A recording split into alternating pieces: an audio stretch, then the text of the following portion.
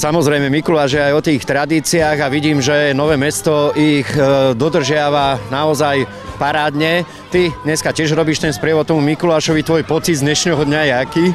No, deti si to očividne užívajú. E, máme tento rok e, veľmi šikovného Mikuláša, Aniela a mimoriadne šikovného čerta, e, s, ktorým, s ktorým si decka skutočne užijú veľa zábavy. Ako si už spomenul, toto je tradícia, ktorú sa snažíme každý rok dodržiavať. Aj tento rok v nej pokračujeme, navštevujeme vybrané školy, škôlky a, jasličky, ktoré sú v správe mestskej časti Nové mesto. Tak si povedzme, že tohto roku, ktoré školy na vlastné oči vidia Mikuláša Čertániela? No, začali, sme, začali sme s detskými jaslami na Robotníckej. Čo sa týka škôl, máme na trase Odborársku, za kasárňou Riazanskú, pokračujeme materskou školou Rešetkova, základnou školou Česká a turné završí Mikuláš na materskej škole na Šancovej ulici.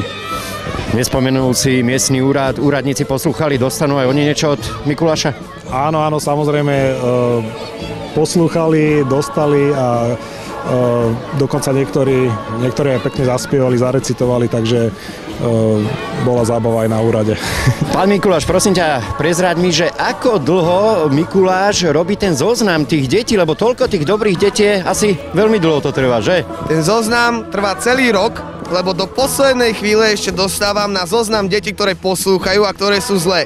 Ale keďže som dobrý Mikuláš, tak viem urobiť takú vec, že keď prídem aj za tými zlými a povedia mi peknú básničku alebo zaspievajú, tak im aj tak tú odmenu dám. Ale musia mi potom slúbiť, že celý rok budú dobré. Ale chcem ich pochváliť, lebo už sú lepšie. Už mám viacej dobrých detí ako zlých, ako to bolo po minulé roky. No to je super, to je veľmi dobrá správa. Ešte mi povedz prosím ťa, pán Mikuláš, ako ti pomáhajú čert s anielom? No tak aniel mi pomáha veľmi, no a čert je to vidieť, že stará sa o deti. Takže bere mi pomaly moju úlohu a bojí sa, že za chvíľku už ani nebudem zaujímavý ja, ale čert. Ty už si veľká slečna, ale prezrať mi, ja som sa nikdy nerozprával s Mikulášom a tebe sa to podarilo. Čo ste si tak rozprávali s Mikulášom? Spievala som pesničku mu. A vedela by si ju zaspievať aj nám? Áno. Mikuláš je detko staví, vie on robiť veľké čaj. Nadejí ti ladosti, plnú čižmu sladkosti. Ty mi prezrať, že kto bol krajší, ten Mikuláš alebo čert? Anielika Mikuláš. A čertika si sa nebala, že? Nie. A ešte mi povedz, čo musia deti spraviť, aby od Mikuláša dostali darčeky. Musia poslúchať. A ty si určite poslúchala, že? Mhm. Áno. Tak mi prezráť, že čo treba mať vyčistené, aby večer ten Mikuláš prišiel, alebo aj cez deň? Zuby. A ešte čo asi tak? Neviem. No do čoho tak Mikuláš asi dávate sladkosti? Topánku. Tak a my pokračujeme. A kam sa tieto panky dávajú, aby ich Mikuláš našiel? do okna.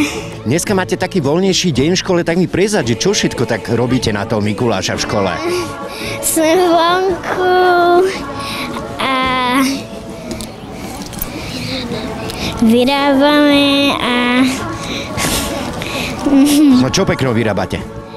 No, Ježiška a také veci. To ste sa na počas Mikuláša tak pomalovali, alebo čerťa pomaloval? To, to, pomalovali nás také, také anieliky a anieliky nás pomalovali na bielu a, a čerty na, na čiernu. Priznám sa, že krajšieho čerta som ešte nevidel. No, prezrať mi e, dneska už koľko ste tých detí obehali tu na Telmanke, alebo pardon, za kasárňou?